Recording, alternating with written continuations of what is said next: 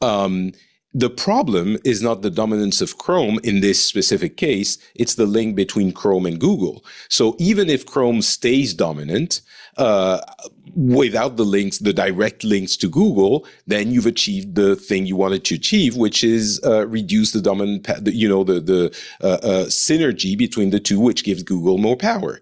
And uh, if it doesn't, you know, if it becomes less relevant and somehow after a few years um, it's not as powerful as it is today, then it gives the opportunity. There's a vacuum, and it gives the opportunity for another actor to take its place. Or maybe you have a more fragmented browser market, which has its own challenges. Obviously, if you have different rendering engines, it's all like we've seen this situation in the past.